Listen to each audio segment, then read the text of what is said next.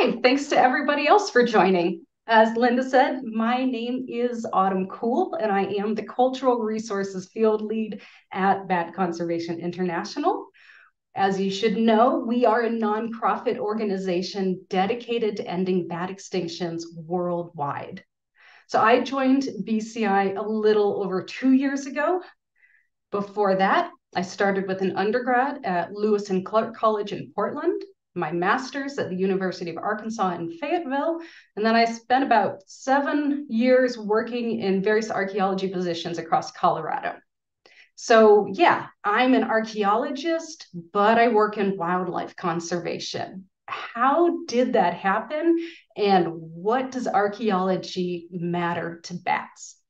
So I'm going to start today off with a quick introduction to archaeology, and then I'm going to go into how I joined BCI and what my team has been up to. And finally, I'll dive into ways that adding a cultural resources component to wildlife conservation can benefit everyone.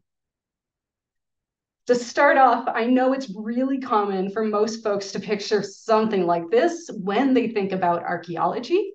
These might be entertaining, but they are really terrible representations of real world archaeology. I also have to acknowledge that it's a very, very common misconception that archaeologists dig up dinosaurs. We do not. We leave the dinosaurs for the paleontologists to handle. Archaeology is a subfield of anthropology, the study of humans. And archaeology specifically is the study of material objects made or modified by humans and which are at least 50 years old. So, most archaeology, as it's conducted in the US today, starts off with a fieldwork session that looks something like this. A group of archaeologists will walk grid patterns over the landscape to search for artifacts or features lying on the ground surface. This is also called a cultural resource inventory. When we find something, we'll pause and take photos, notes, and coordinates. We conduct field work in all weather and in all environments, and it is not nearly as glamorous as Indiana Jones makes it out to be. Sometimes we do work on large excavation projects in order to conduct extensive research at a specific site or to salvage materials that would be destroyed if they were left in place. But many of you might be surprised to learn that a lot of archaeologists really only spend a very small portion of their time working on excavations because most of the time we try to leave things safely buried in the ground. Before and after field work, like with every job, there's a lot of research, analysis, and report writing, but we try to figure out what the things we found during field work tell us about the past. In fact, for just about every day we spent in the field, we spent three or four days in the office. And of course, there are a lot of different types of archaeology, different subspecialties within the field. But I'd say that this is still a pretty typical work distribution for the majority of professional archaeologists in the US. Okay, so that is sort of a quick intro to how we do archaeology, but why do archaeology and what does it have to do with bats? So, well, for the why, most archaeologists enter the field because we are genuinely fascinated by the past and we really want to understand and preserve the stories of those who came before us, especially the untold stories. Written historical texts were usually created or funded by only the most powerful figures, successful military leaders, church leaders, politicians, aristocrats. So if we only relied on the stories that they wrote and that they preserved, we would have a really biased view of the past. Very few average Joes left written records of their lives that were preserved to be studied today. But by studying the marks that people made on the landscape and the material objects that they left behind, we can gain a more nuanced understanding of the past and how we got to where we are today. While some universities and some private research institutions do study archaeology purely for the sake of expanding our body of knowledge, most archaeologists, like myself, work outside of academia. There are hundreds, if not thousands, of private cultural resource management firms across the country that primarily conduct archaeological inventories in order to help other industries or other, other organizations meet the requirements to complete their projects. This is commonly referred to as cultural compliance work. In the US, the primary regulations for the management of cultural materials are laid out in the National Environmental Policy Act, or NEPA, and the National Historic Preservation Act. Essentially, these regulations stipulate that any work being conducted on federal land or with federal funds or permits needs a cultural review to make sure that the work doesn't damage important cultural resources. Projects subject to these rules range widely and include everything from freeway expansions to cell tower construction to environmental restoration work being done on public lands. And these regulations are essential. They are in place to prevent things like a gas pipeline being driven right through an old cemetery, which is a thing that has happened more than once. So within BCI, we've got a handful of primary branches, like such as scientific research and public outreach. I only included a couple branches here just to keep this chart really simple. I work in our Habitat Protection and Restoration Program, or HPNR, which is one of our conservation programs. Since I joined BCI to establish the cultural team about two years ago, most of my work has been conducted in tandem with our subterranean team, which studies and protects underground bat habitat. Specifically, most of my recent work has been on abandoned mine land, or AML projects. Many state and federal agencies are currently working to close abandoned mines to protect humans and wildlife that could be in danger if they were to go underground. However, abandoned mines can also be really great bat habitat. So we want to be conscientious about how the mines are closed so that the bats aren't cut off from this important space. And that's where BCI comes in. We partner with those agencies like the Department of Energy and the Bureau of Land Management to make sure that mine closure methods are appropriate to the type of habitat that each mine contains.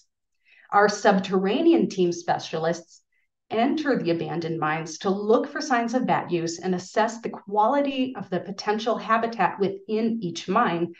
And then they let the agencies know which mines can be safely walled off or buried, and which ones are actually worth spending a little extra time and money installing bat gates on. Now, because these closure projects are funded by federal agencies or occur on public lands, a cultural resources inventory has always been required under the regulations I mentioned earlier. Before I joined BCI, that part of the project used to be handled separately by private companies, or sometimes even the land management agency themselves. However, by keeping those two types of survey, the biological and the cultural separate, it was hard for each organization to understand why the other was making the recommendations that they did. They often didn't even know what the other's recommendations were until it was time to get out there and close the mines, which made negotiating changes almost impossible. But by creating our own cultural resources department within BCI, we've streamlined the process and we've opened up lines of communication between the biologists and the archaeologists that weren't there before. Now we can collaborate and share our needs or concerns early to keep all these projects moving along at a steady pace. So I'm going to dig in now into a little bit more detail about how these cultural resource inventories work. So first, we look for any archaeological sites that might be affected by the proposed project. Most of the abandoned mines themselves that we're conducting closures on are archaeological sites, based on the definition here. And in addition, I have found evidence of prehistoric occupation near some of the mines that we've worked at. I found projectile points at the edges of mine sites. And once I found a historic old mining road that had been cut right through the center of the remains of a Puebloan room block structure and a midden pile.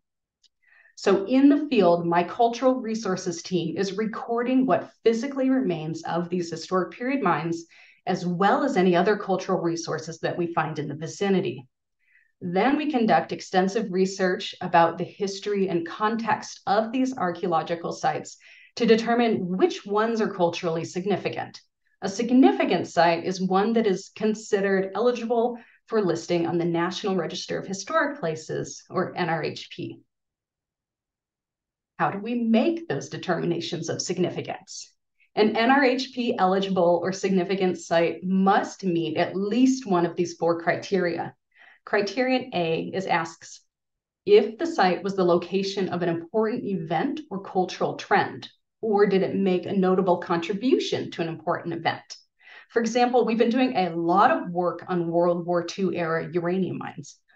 Obviously, World War II was a major historical event, but we can't say that every single tiny uranium mine that operated during the war is eligible.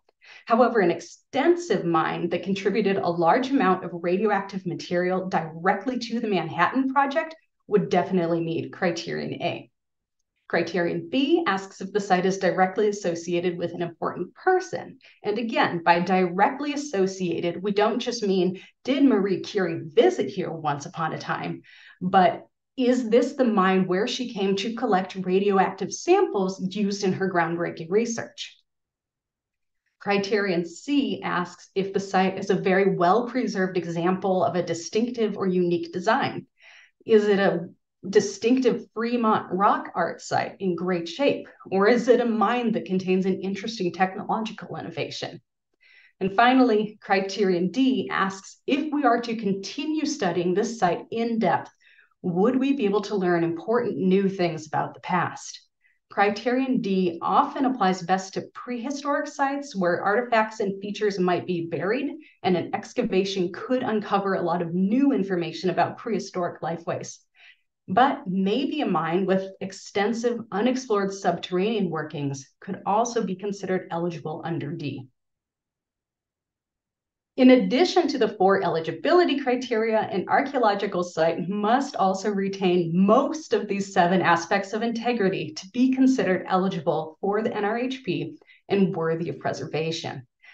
Integrity can be a little subjective to assess, but generally we try to think about how the site has been altered in the time since it was actively in use or created. For example, has the site been damaged? Has it been looted? Have portions of the site been reconstructed or redesigned with new materials? Has the landscape around it been drastically altered and turned into a strip mall? Or is it well preserved? And finally, can you tell what type of a site it is by looking at it? The site in this photo clearly doesn't have very good integrity. So if a site is determined to be significant or eligible for listing on the National Register of Historic Places, that means that legally this site must be protected and preserved. In our AML projects, that means that we have to take extra precautions during our mine closures. The precautions can vary quite a bit depending on the nature and the location of the specific site. If the significant site is a prehistoric resource located next to the mine, the precautions might just require that an archaeologist is present when the closures are installed to keep an eye on things. Or they may ban vehicles and heavy machinery from driving through certain areas. If the mine itself is significant, they may require modifications to the way the closures are installed, or they might even ban certain types of closures altogether to preserve the physical integrity of the site. It really depends on what specifically the mine or the site is significant for. If the closures will cause irreparable damage, or is the mine good enough shape that it can afford a little bit of meddling? So I've talked a lot about the AML projects that my cultural resources team has been assisting our subterranean team with. But BCI also has a restoration team that we will be helping with on future projects. But I have to hire a couple more people first so that we have that capacity. But two major categories of projects that our restoration team work on include agave planting and water protection. So all across the American Southwest, nectar feeding bats rely on blooming agave for food. Habitat loss due to development and climate change is seriously threatening these important resources. So BCI is attempting to counteract that by planting new baby agave everywhere that we can. Similarly, important water resources for bats, like desert springs, are threatened by development, erosion, and destructive invasive species like burros. So we have another restoration team that works on building erosion control structures like the check dams you see in this photo and installing fences to protect the most sensitive areas from further damage.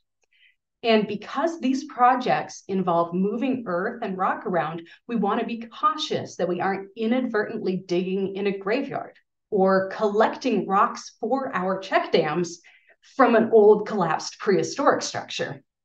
So for these projects, a cultural resources inventory should be conducted first to identify where archaeological sites are located, which ones are significant and thus need to be protected.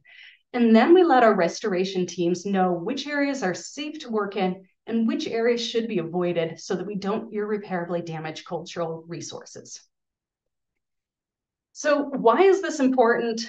Why does it matter to bats? I know I'm talking a lot about the rules and the regulations regarding when and how to conduct cultural resource inventories, but I really don't think about my job in terms of just ticking a bunch of boxes on some bureaucratic checklist. Cultural resources work should absolutely be done alongside and in partnership with all environmental conservation work for several reasons.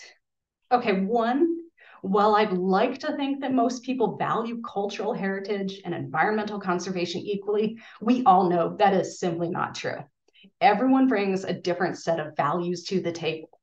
To gain new partners, to reinvigorate the interests of old partners, and to increase our base of support, we need to address how our work touches other areas of need. Yeah, with some audiences, all that we need to say is this stream restoration project will provide clean drinking water for 5,000 bats, and we get support. But there are also plenty of people out there who would hear that and respond with, okay, that sounds neat, but I've got my own problems to worry about right now. And I understand that. We all have a very limited amount of emotional energy and financial support that we can afford to invest in all the different worthy causes in the world. But when we use a broader perspective to promote our work, we can get people a little more interested and a little more enthusiastic. We already understand that it's going to be more effective to say, this stream restoration project will provide clean drinking water for 5,000 bats. Those 5,000 bats will eat half their body weight in insects each night. Fewer insects reduces the spread of disease. Plus, it allows local farmers to decrease their reliance on pesticides.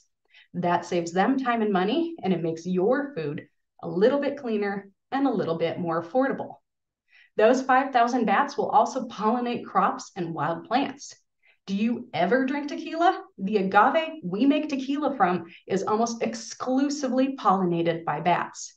So protecting bats protects your ability to kick back on a Friday night on your front porch with an organic salad, a margarita, all while not being eaten alive by mosquitoes.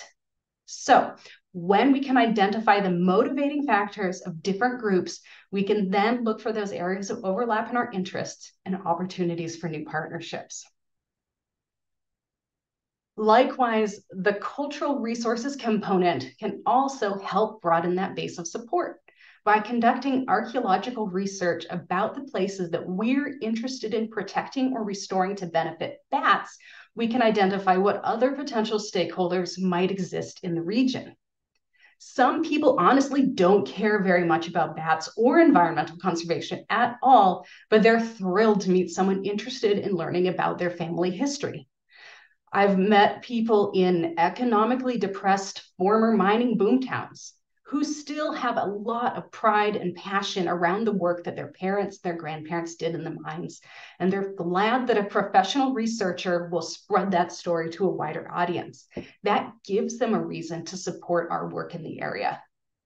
Indigenous groups might be interested in helping to preserve and protect a spring or a forest or a specific landform, not because of the bats that live there and need it, but because the location is a traditional cultural property that is valued as a sacred space. In fact, among the Coast Salish, some natural landforms are not just seen as sacred places, but those landforms are literally understood to be the direct ancestors of modern First Nations people. So, of course, they're going to want to preserve and protect those features. We have to be aware of these cultural elements if we want to be successful in our conservation work in those areas. And embracing the stories of those who came before us enables us to make more informed and conscientious decisions about how we conduct our work in a way that benefits not just the bats, but the people that share this space with them.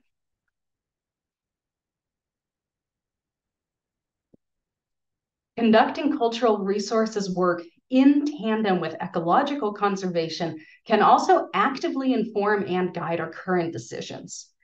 For example, out of control wildfires are a huge threat to bats and every other species that lives or feeds in forested landscapes.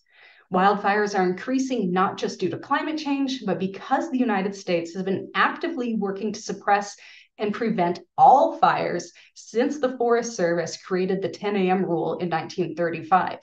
This means that species that need a more open canopy or a more open forest floor are being edged out. That reduces biodiversity and food sources. Plus, our forests are filling up with dense deadfall.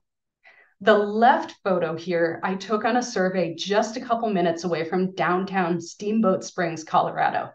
The entire forest is a tinderbox waiting to go up. The right photo is a post-fire image I took a few miles north of Rocky Mountain National Park. So because our 20th century fire suppression model hasn't really been working as well as we wanted, land managers and conservation organizations are currently turning toward traditional indigenous methods of fire control. Native Americans, Native Hawaiians, and Alaskan Natives all traditionally employed controlled burns to manage their lands. Small fires were set to clear underbrush, encourage the spread of species that rely on intense heat to propagate, and reduce competition around food bearing or medicinal plants. They also know that controlled burns would use up fuels before they could accumulate to the stage you see in my photo, which drastically reduces the chance of catastrophic wildfires. These traditional methods are being reintroduced into modern fire control activities because we have thousands of years of oral tradition supported by archaeological evidence that these methods work. Archaeological research has also shown that people in Mesoamerica were cultivating agave as much as 6,000 years ago. Agave cultivation then spread to the Chihuahuan Desert of northern Mexico and the Southwest by at least 2,000 years ago. By studying how these first farmers were so successful without any modern technology, we can learn to be more effective in our own agave restoration projects we don't have to reinvent the wheel. The original inhabitants of this land already spent thousands of years learning which species are successful in which different environmental niches and how much human interference they actually need to, to be successful. For example, we learned to use rock mulch, which is a very economical and efficient way to trap soil and moisture around baby agave by studying hohokam sites like the one shown in this black and white photo. And finally, incorporating cultural resources work into modern conservation efforts moves us towards a future of conservation that is in line with our values and that respects and treasures the diversity of humanity as much as we cherish the diversity of nature conservation has a very colonial history. Native Americans were coerced or forcibly relocated from their ancestral lands to establish several of our national parks, including Yosemite and Glacier. And this wasn't just in the past. In East Africa, the Maasai have recently been violently pushed out of their traditional grazing lands to make room for game reserves all of these actions are rooted in this colonial misconception that true nature is pristine and untouched by human hands, and that the best way to protect it is to keep the two separated. But archaeology and other cultural resources work, such as ethnography and history, have demonstrated time and time again that this is untrue, that there are almost no places on Earth where the landscape has not been altered by persistent human intervention. What we tend to think of as nature is really more of an overgrown garden than some isolated wilderness. So, with cultural resources work, we can help correct some of these misconceptions by providing hard physical data that supports or supplements the stories that minority or oppressed groups have been trying to tell us about their histories. We can identify which groups traditionally occupied an area and how they lived within the landscape as an active part of it, not just as visitors passing across it. And then when we're making decisions about where and how to pursue our conservation goals, we can go beyond the bare minimum of federal regulations. We can identify those people who have ties to the area where we want to work and invite them to be true partners in our efforts. And by celebrating this holistic version of ecology that sees humans as a part of the environment, we can find a more sustainable method of conservation one that doesn't force conservationists to choose between protecting endangered animal and plant species and protecting humans. Instead, we can find a way to do both. And I think this is not just our moral and ethical duty in an increasingly post colonial world, but I also think it will genuinely make our conservation work more successful by forging new allies and new paths forward. Thank you. All right. Well, thank you so much, Autumn. Uh, that is really fascinating stuff. Um, so we've got some time now for questions. Um, so make sure you've shared um, questions that you have in the Q&A box. Uh, we don't have any quite yet. So Autumn, I want to ask you a question myself. What are some of the neatest things you've found at, on a BCI project? Oh, on a BCI project this summer, I found what I thought was an old round tobacco tin, picked it up, brushed it off to try to read the label on it, shook it to see if it was anything in it. Something was rattling, something fell out of a little hole in the side. I look at pick it up and realize, oh, this is a blasting cap. I am holding a 50 plus year old explosive device in my hand and I just shook it around. So uh, that was very exciting and a little bit nerve wracking. And we called the BLM and they came in and got rid of it for us. Oh, wow. okay. All right. Well, we've got a question from Megan. Um, what has been the most challenging aspect of the mine work? Mm, good question. I think, uh, Megan, academically speaking, I feel that the most challenging aspect of the mine work is that I really want to go inside every single mine, which I I don't have the safety training. I can't do it unless I'm with those subterranean specialists. So I usually have to wait for them to come back and share their maps. And I feel like it's hard to make an, a, full assessment of a mine without going in there myself, but it's not it's not worth the risk. And then out the other challenging part of the work is just finding the time and the people to keep up with it because there are just thousands and thousands of abandoned mines that we're trying to help close, and there's never enough time in the day to get them all down. Hmm. Okay. Well, we've got a question um, from Allison, and she would love to hear about your favorite location or community that you've encountered. I think maybe my favorite place that I worked was my very first archaeology project, which is uh, my field school. All archaeologists go to a field school, which is sort of like a, a boot camp training. Mine was in British Columbia. We were partnering with the Chawathil tribe, which are, is a member of the Coast Salish uh, Indian group. And so we actually had tribal elders at the site with us, helping to interpret our finds as we went. It just felt like such a collaborative and welcoming community. And I'm originally from the Pacific Northwest, so I like hanging out in the soggy woods and learning more about the place where I grew up. Oh, cool. Um, so Sylvia's asking, um, um, how can the general public help?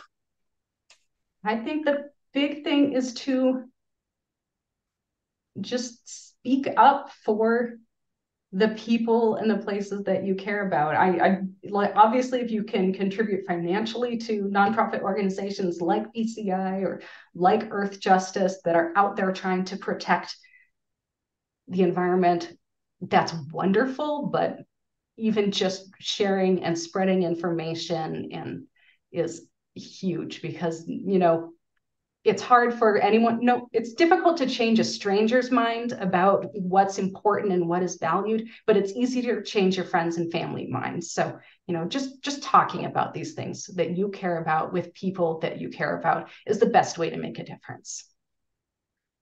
Hmm. all right. Um, and so uh, another question here. Diane is asking um, how do you close a mine? What does that mean yeah, well, Diane, a lot of the mines we're working at literally have open holes in the ground, whether it's a vertical mine shaft or a horizontal tunnel that we'll call an adit. We can do anything from building a rock wall across it, putting a big iron gate or grate over it.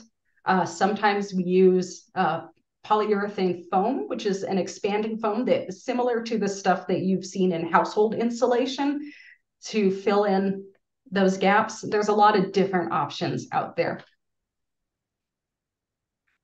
Oh, okay, uh, here's a fun one from Gary. Uh, any theory, any personal theories on why so many of the quote unquote footprints on petroglyphs have six quote unquote toes? That is not an area of my specialty. Sorry, I have no idea there.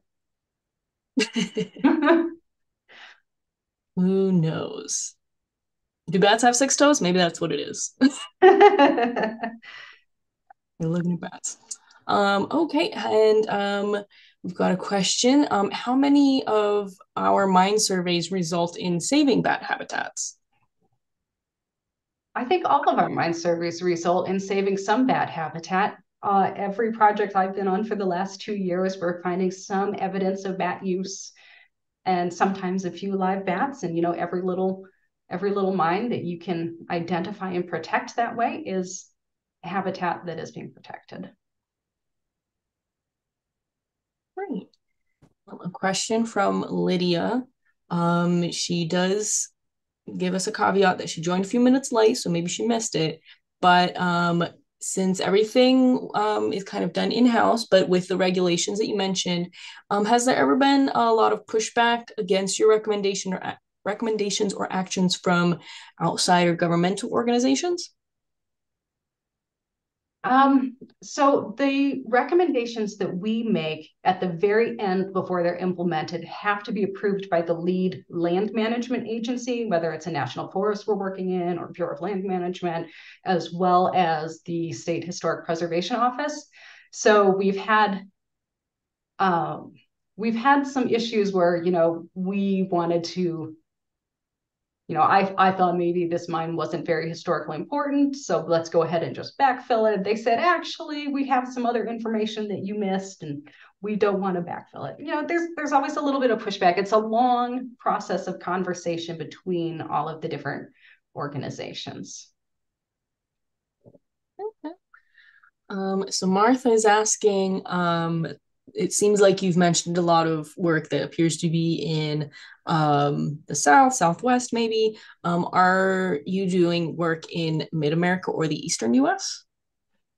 Right now, the work that we're doing is primarily in the cultural work has been primarily in the Four Corners region, like in Western Colorado and Eastern Utah. This is where uranium mines are located on the Colorado Plateau. They're only found primarily only found in that part of the US. Uh, and so that's where we've been focused very recently because having radioactive mines open and accessible is adds an extra layer of danger upon above and beyond just accidentally falling in a hole. Uh, so that's where we've been focused. Uh, we don't have any work on the East Coast yet. I know coal mines are a big problem out there, but I don't think that uh, Bat Conservation International has dipped our toes into that yet. but we are growing fast and maybe we'll get out there. Right. Um, let's see. How this is kind of based on a question Vivian's um, putting forward. Um, how kind of often are abandoned mines colonized by bats? Like, is this very common that they're all in there? And is this more common in some uh, regions of the US than others? Ooh, again, I'm the archaeologist. I'm not the bat biologist, so I might not be the best person to ask, but I know that what the bats are typically looking for is a true dark zone so not just a shallow mine or a mine that's collapsing in the roof so that light is coming through. It needs to be a nice true dark zone. It needs to be nice and cold um, and hopefully near a source of water somewhere. Uh, and the rock featuring the type of rock that forms the ceiling or what we call the back of the mine has to be a nice good grippy texture for them to hang on to. Um, I can't tell you like how many are colonized by bats, but I know my subterranean team colleagues could go into that in more depth. You know, it it just does seem very common. I'd say more more are colonized by bats than are not. And that's about as far as I'm willing to commit. Fair. Fair enough. Um, let's see. Now uh you've already stated petroglyphs are not your uh your specialty, but Megan wants to know Do you know of any bat related petroglyphs? Any famous ones? Off the top of my head, I'm I'm sure they're out there. Bats are culturally very interesting because they're an animal that lives in the liminal space between the earth, under the earth, and the sky. They're active at dawn and dusk in that time between true day and true night. And that's a really interesting aspect that, at least in North America, a lot of indigenous cultures see animals that cross those major boundaries as holding a really special role in the spiritual realm off the top of my head, I'm not familiar with any bat related rock art. Uh, I do know some Mimbres pottery from the Southwest features bat patterns, and it's definitely something that I've been thinking I need to do a lot more research on. Well, we'll look forward to it then. Um, so we got a question from Harrison. Um, can you tell us more about that site with an old mining road running through the prehistoric settlement? Yeah, so this had, this is in Utah in the Manti La National Forest. There's an old Pueblo and room block structure, very overgrown. Uh, what it looks like on the surface is just maybe a faintly rectangular pattern of like building foundations, just some some round cobbles making little rectangles on the ground. Really hard to spot unless you've had a lot of practice at it. And then around probably the 1920s, 1930s, some miners came in to look for uranium in that area. And they put a few holes into the hillside near the Pueblo. And then they built, they drove a road right through the Pueblo and right through the midden, which is the trash pile next to the Pueblo to up to another part of the site where they built some cabins and stuff and this road just like cut right through this landform and you could see on the the cut bank on the edges of the road old pottery spilling out from the, the midden the old trash heap and you could see where there used to be a perfect rectangle of a stone foundation but part of it had been wiped out by the road.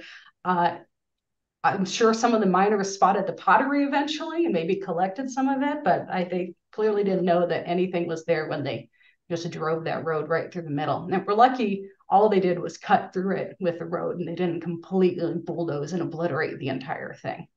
So that site, that prehistoric component of that site is now listed and protected. The Forest Service now knows it's there. They've got coordinates for it and they're careful to avoid it in any future work. So when we went back out there to close up that mine that sort of overlaps the site, we made sure that those contractors you know, approach the site from the opposite side away from that pueblo so that we weren't driving through it again and again. Oh, wow. Was there uh, any uh, really cool artifacts you found while uh, while doing that? I think I actually showed that slide earlier. The collection of pottery was from that specific site.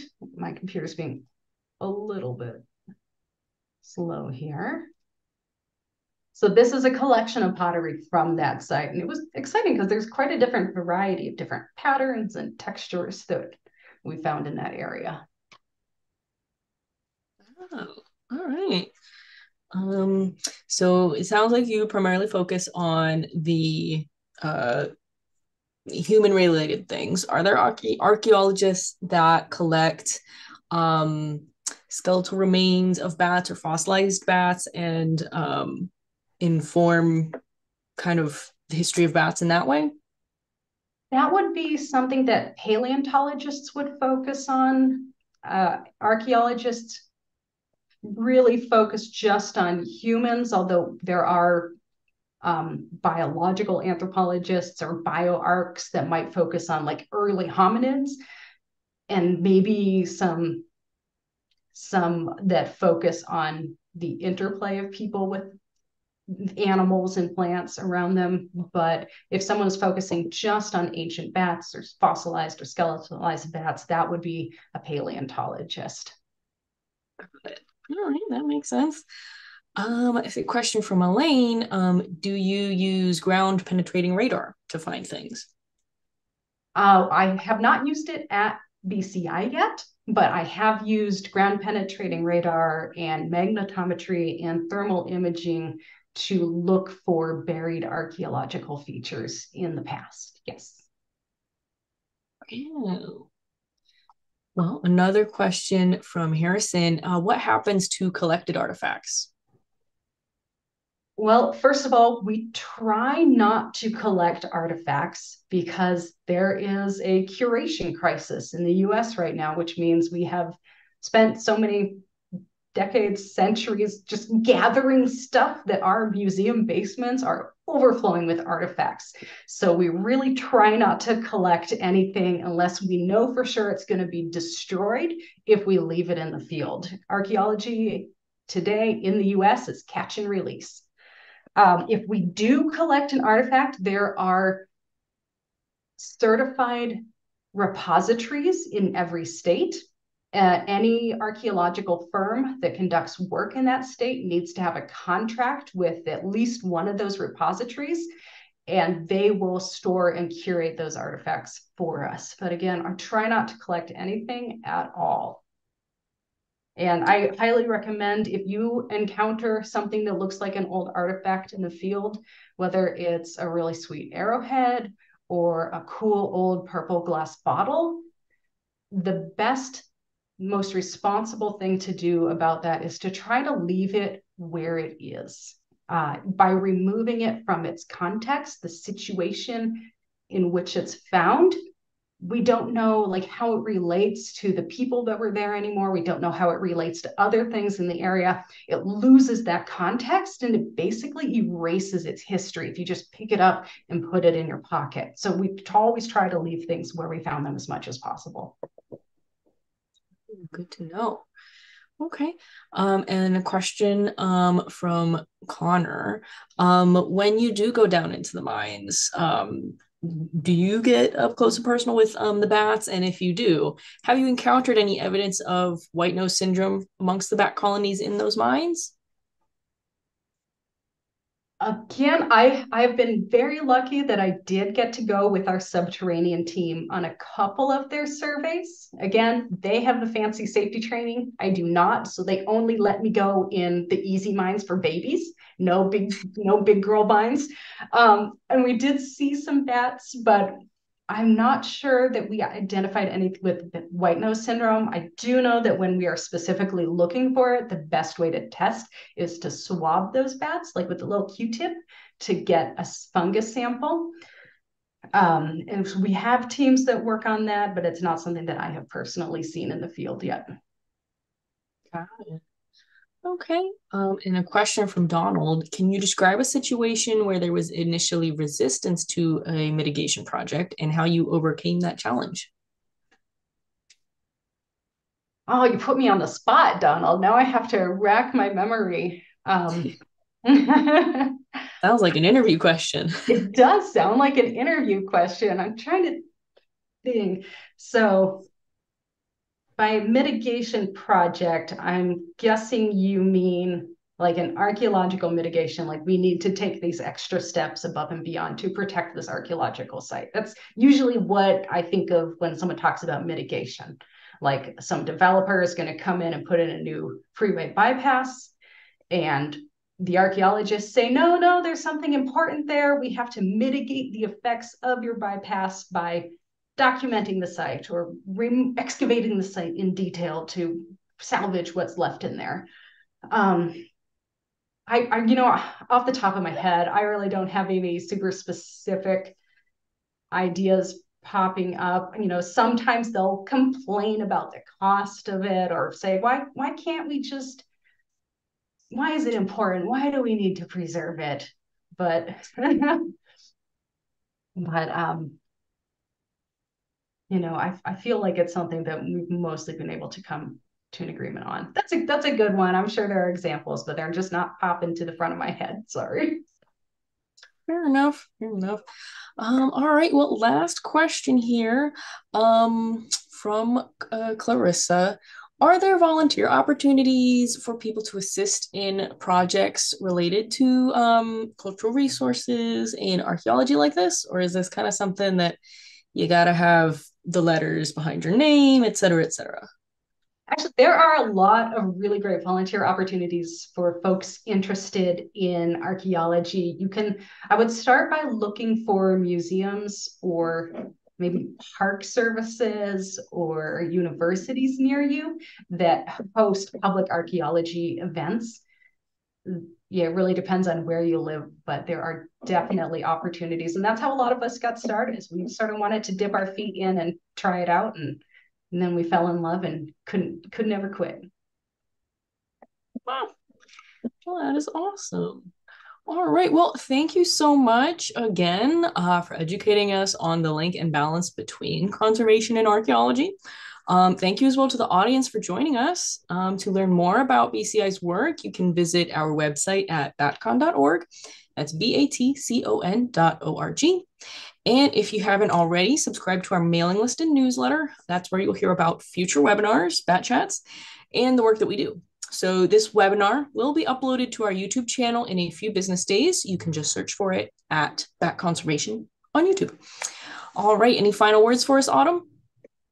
Support your local bat conservation efforts, support your local friendly archaeologists. Would love to nerd out on you anytime. Thanks, everybody. Yeah, all right. Thank you so much, everyone. I hope you all love bats uh, even more than you did an hour ago. And we'll see you at the next Bat Chat. Bye, everyone.